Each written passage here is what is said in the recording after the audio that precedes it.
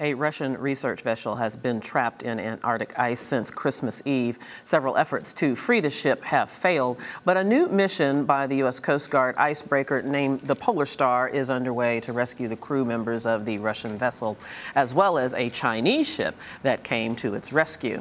Well, last Friday, a helicopter from the Chinese vessel rescued 52 of the passengers from the Russian ship before it also became trapped in the ice.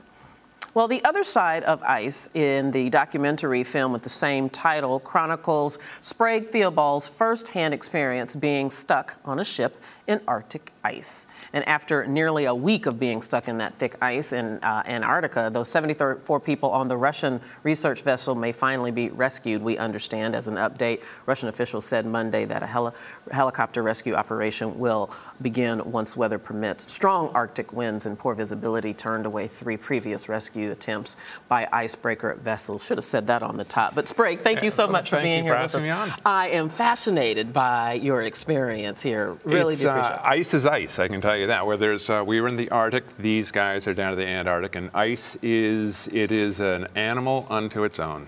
Okay, so you sought to go on an expedition of what's called the Northwest Passage. Right, okay. right. Why?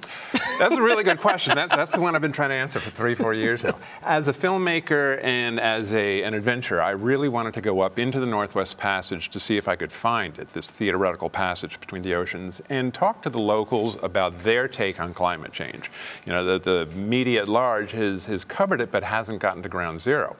So I started to go up. I went on a 57 trawler, foot trawler with my family, and we went up and we went Greenland and got into the passage, and then Mother Nature really started pushing us around. And the, the scope of the documentary changed very quickly. While I did speak to some locals about their, their concepts of climate change and what they were noticing, uh, what we had on our hands very quickly was ice. And before we talk about your experience of getting trapped, very similar to uh, yeah. these two vessels now on the South Pole, you're in the North Pole. Right.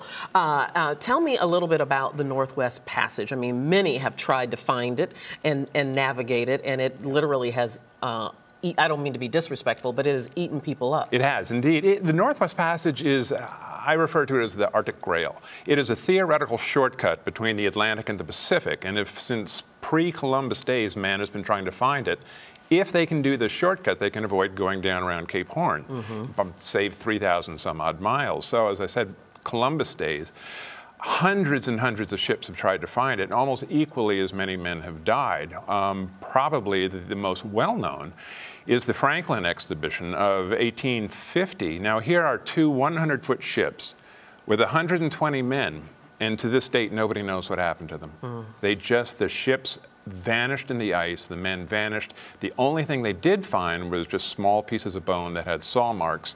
So they knew the final days weren't good. It was cannibalism, but mm-hmm. Completely vanished. Yeah, well, thankfully you lived to tell the tale. Yeah. So your vessel got uh, trapped by the ice, very similarly to this situation where exactly. the, the, the, the uh, wind currents changed yep. the pattern of the ice. The ice boxed you in. Exactly. When you realized you were really stuck, what did you think?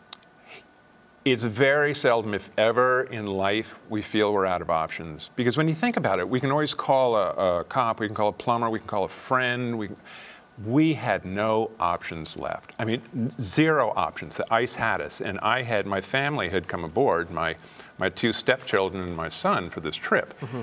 So the first and only thing that was going through my mind for three days is if I brought my family together only to lead them to their death. Mm. It was, we got trapped a mile and a half from shore.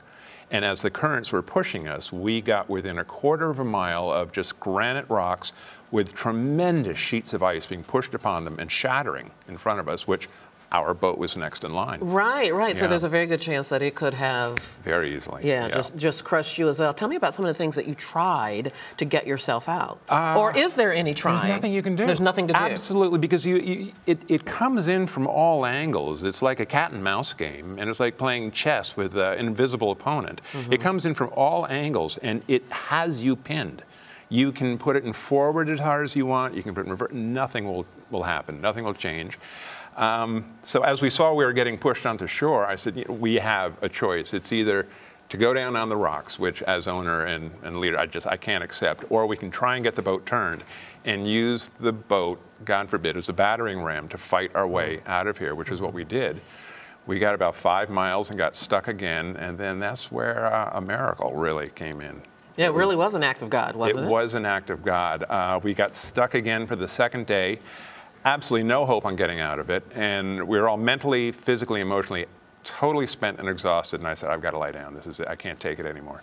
We all lay down. The next thing I knew, my stepson was waking me up saying, You've got to look at this. And on the radar, we had moved, we were still in the ice, trapped, but we had moved seven miles down the coast by a hidden current or eddy that had taken us away from the rocks at this point. We were mm -hmm. still in trouble, mm -hmm. but not seeing the rocks ahead that we were going to just impale ourselves now, And how long were you stuck, though, in that spot before? Um, before we actually got out, it was about three days told. Wow. And we got out onto the ice. We got tremendous footage of the boat, you know, from the ice. We went under the ice, we dove, we marvelous footage from underneath that's in the documentary. I stopped diving after I saw how, how amazing a polar bear could swim underwater. You just brought up what I wanted to ask you about. Of course, on the South Pole, they have uh, penguins down yes, there, not yes. that uh, dangerous to human beings. Right. You had to deal with polar bears. We had to deal with what polar precautions did you take, and how real, real, was that threat? The threat was very real. We saw perhaps 28 in our, our five months up there, and uh, one, one, one example, it was, it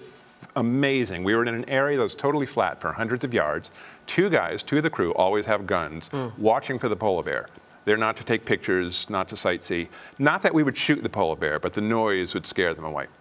So we, we shot, we did our filming, we got back into the dinghy, we are maybe 30 seconds into the dinghy, and where the tripod had been, a polar bear was now sniffing. Wow. With two sets of eyes on flat terrain, he had managed to hide down into a, a, gully or behind a rock the entire time and was watching us. And it's important for people to understand that polar bears, while they look really cute, oh, very cute, they very are cold-blooded they killers. Are, they the people like to say sharks no are the, the, the right are the ultimate predator. It's the polar bear. They will kill just to kill, not because they're hungry or de feeling defensive let me just ask you this, and I know that you were able to go down into the ship, but how cold was that cold? What was that like? The water when we were shooting uh, underneath the water was 28 degrees, and the air was anywhere from 25 to 40.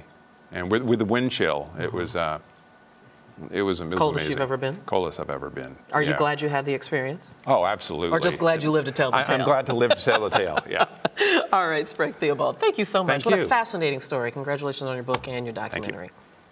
That's going to do it for us today. Thank you so much for joining us here at Arise America. We'll be right back here tomorrow. Have a wonderful day. I'm Debbie Turner Bell. Bye bye.